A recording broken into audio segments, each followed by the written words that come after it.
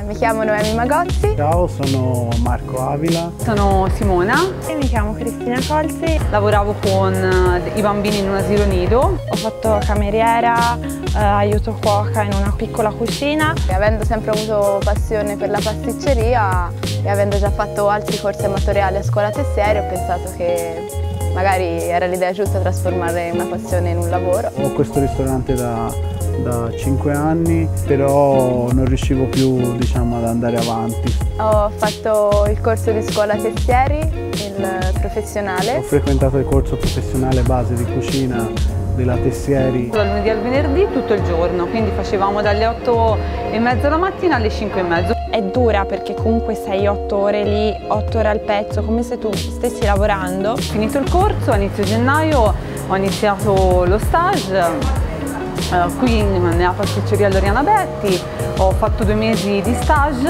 al termine sono stata assunta come tirocinante per sei mesi e da pochissimo tempo lavoro a Four Season Hotel Firenze in pasticceria. È un'opportunità che non pensavo di raggiungere in così poco tempo, cioè neanche un anno che faccio pasticceria a livello professionale e mi ritrovo già accanto a personaggi di, di grande valore. Inizialmente ero titubante a farlo, non volevo farlo perché comunque sia come magari vabbè, investimento anche di tempo, non ero sicuro di farlo. Invece finito il corso lo rifarei mille altre volte, mi ha aiutato davvero tanto. Ho sempre litigato con le sacca Porsche. Come ne riempivo una mi scoppiava in mano, cioè proprio letteralmente scoppiava. Con la tessiera piano piano sono riuscita a non farmi scoppiare più le sacca Porsche. Il corso tessieri per me è stata una svolta proprio nella mia vita. Senza tessieri probabilmente sarei ancora in quel piccolo ristorante a fare antipasti e qualche dolce così. Lo rifarei perché mi è servito proprio